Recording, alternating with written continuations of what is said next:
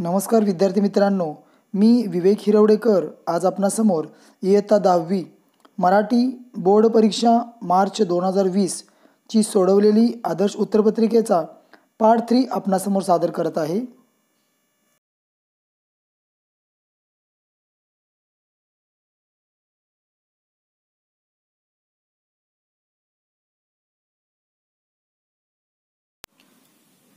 विभाग तीन स्थूल वाचन.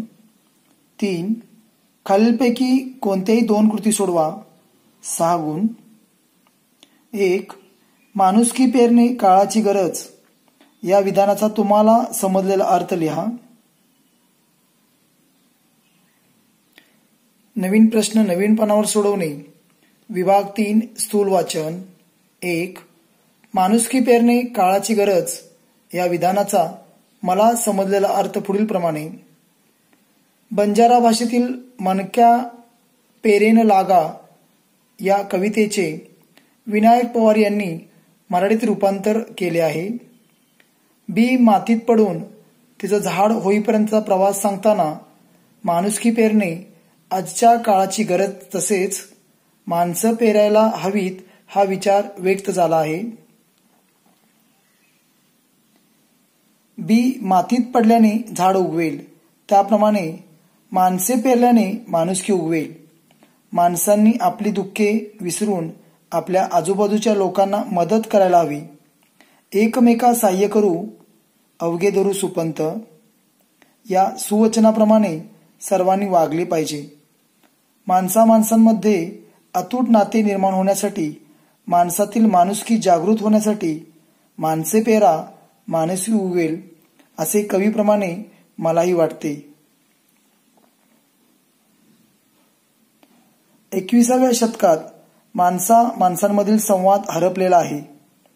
एकमेकांबद्दलची आस्था माया ममता सहकार्य प्रवृत्ती संपत चाललेल्या दिसून येत आहेत. माणसांमधील नातेसंबंध घट्ट टिकवण्यासाठी मानवामध्ये सदविचार सदभावना अशी उत्तम लक्षणे पेरणे ही काळाची गरज आहे. असे नाही झाल्यास भविष्यात विपरीत परिणामास सर्वांना सामोरे जावे लागेल.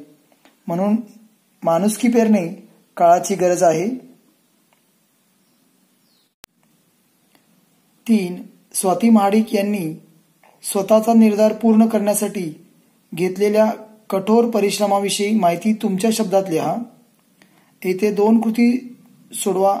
असे असल्याने मी तीन नंबरची कृती व एक नंबरची कृती आपणासमोर सोडवून दाखवली आहे. स्वाती माडी यांनी स्वतःचा निर्धार पूर्ण करण्यासाठी घेतलेल्या कठोर परिश्रमाविषयी माहिती पुढील प्रमाणे. महाराष्ट्र कन्या स्वाती माडिक यांचा भाऊक वीरपत्नी ते सज्ज वीरांगणा असा प्रवास अत्यंत धाडसी प्रेरक आणि थक्क करणारा आहे. त्यांचा विवाह भारतीय लष्करातील अधिकारी श्री संतोष महाडिक यांच्याशी झाला.